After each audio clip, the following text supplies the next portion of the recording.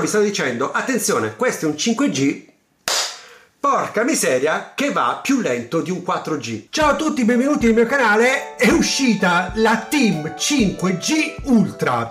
Ma che cos'è? Il marketing di queste compagnie telefoniche, ragazzi, è un qualcosa di fenomenale. Riesce a stravolgere la realtà, riesce a farci vedere con occhi diversi ciò che è la realtà ma se noi a un certo punto puntiamo i piedi per terra e apriamo gli occhi, capiamo che Gesù mio. Sono state presentate le nuove offerte 5G di Team, le hanno chiamate Ultra e guardando il loro sito si vede che addirittura la Ultra, che praticamente adesso è per tutte quante le nuove SIM, le nuove attivazioni, è una tecnologia che ci dà una velocità addirittura fino a 2 gigabit per secondo, ragazzi, è tantissima roba con una priorità di navigazione in internet anche in situazioni di sovraffollamento, che poi è la caratteristica del 5G. Questo rende il cliente 5G Ultra di prima classe, non come tutti quanti gli altri poveracci che invece si dovranno accontentare di un 5G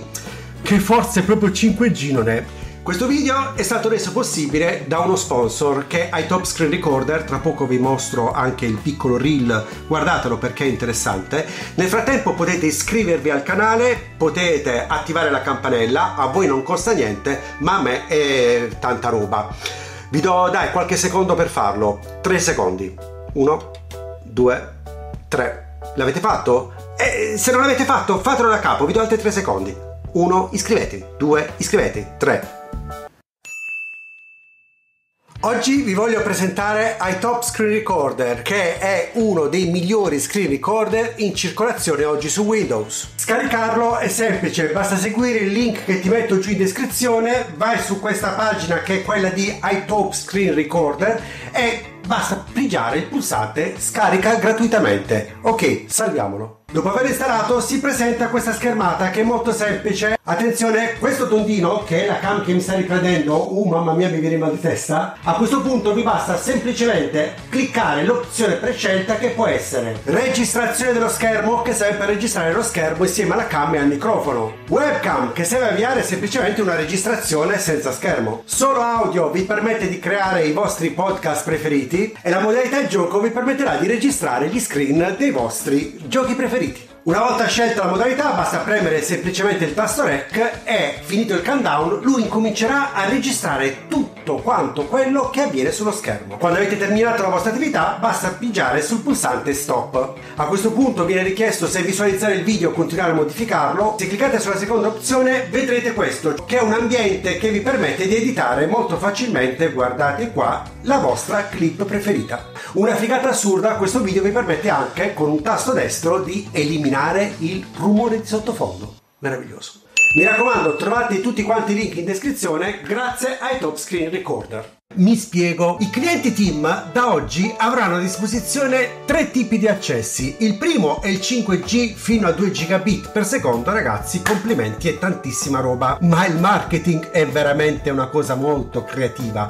E tutti quanti gli altri clienti cosa succede? Beh, ci saranno alcuni che navigheranno, secondo loro, con l'offerta 4G, che consiste in uno strozzamento della rete fino a 150 megabit per secondo in download e 75 megabit in upload, che comunque non è male, ma qui arriva la genialata. La rimanente parte dei clienti potrà navigare in 5G, ma limitato a 250 megabit in download e 75 megabit in upload che non è male, nella maniera più assoluta non è male ragazzi, sono velocità meravigliose, non erano le velocità del 4G Plus queste, già furbata del marketing. Allora, siccome il 5G DSS che praticamente condivide, S, una S sta per sharing, no?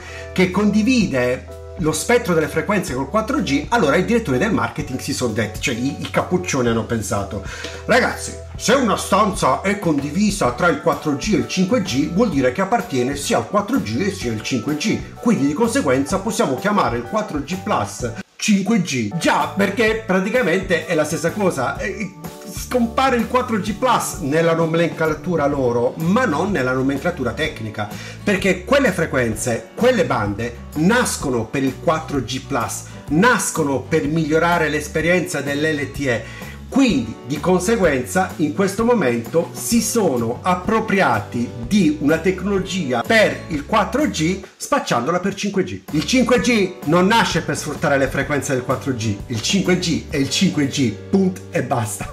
Quindi praticamente secondo il marketing, io già me lo immagino tutti quanti vestiti di nero con il loro cravattino No, adesso va di moda essere fighi, va di moda essere più friendly, quindi me li vedo già tutti quanti con la camicia bianca e le maniche bianche arrotolate, col colletto senza cravatta che dicono ragazzi abbiamo trovato la furbata, abbiamo trovato il modo per mandare a culo il 4G Plus e farlo diventare magicamente 5G per tutti. Meravigliosi, sono fantastici. Vabbè, sono fantastici, dai, diciamo così. Quindi dicevo, adesso abbiamo un 5G di serie A e un 5G di serie B. Cioè praticamente abbiamo il 5G vero e il 5G che è il 4G che adesso si chiama nome, ha cambiato nome, si chiama 4... È incredibile quello che stanno facendo, ma non finisce qua perché se esiste anche il 5G di serie B, dovete sapere che esiste anche il 5G di serie C. Ma come? Si può andare anche oltre. Allora, premesso una cosa, il 5G, chiamatelo come volete, il 4G Plus, insomma, l'offerta di Team non è malvagia.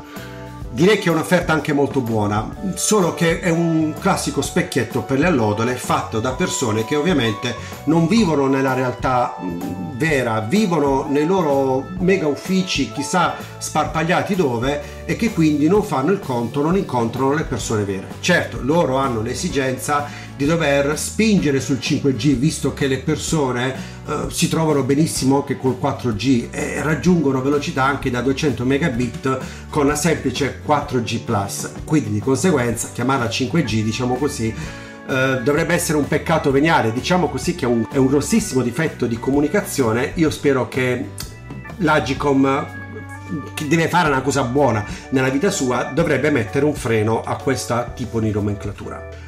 Molto più trasparente e molto più diretta è la comunicazione invece della 5G di serie C di Win3. Sul sito di Win3 infatti notiamo che ci sono giga alla velocità massima di 10 megabit. Cioè praticamente io attivo il 5G e scopro di avere 10 megabit in velocità massima in download e in upload. Senza vincoli! È riservata chiaramente ai clienti che provengono da e tutta una serie di operatori. Ora su questa illimitatezza cerchiamo di capirci un attimo. Queste non sono sim di broker per la telefonia che offre veramente traffico illimitato e la gente non si capacita del motivo per cui ci sono sim che costano oltre 20 euro al mese ma sono realmente illimitate e sim come queste che sono sì illimitate ma attenzione sono illimitate a patto che il traffico dei dati non sia superiore occhio eh per tre mesi consecutivi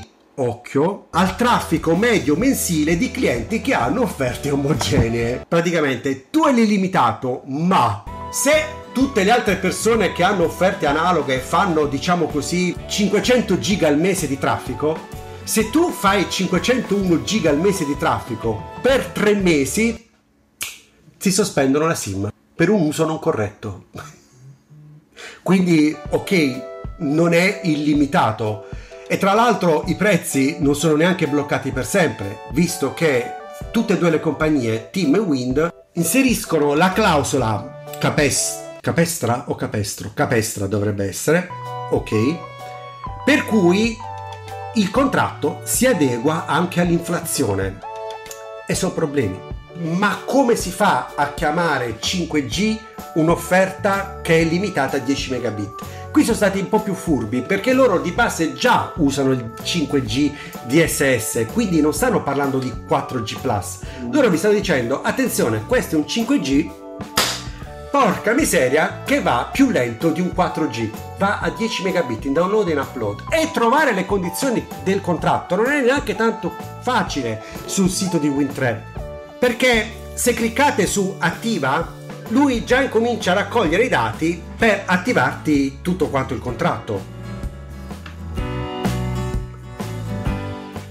Quindi i giga massimi stanno qua, però se andiamo un po' più giù vediamo che nella, nelle condizioni d'uso, laddove c'è scritto offerte in edizione limitata, scopriamo che nella sezione giga illimitati, se si superano i gigabyte, un gigabyte al, se si superano i gigabyte in un contratto illimitato. Stranissimo, il traffico internet incluso è valido solo per le connessioni sviluppate sotto il 5G dove sta.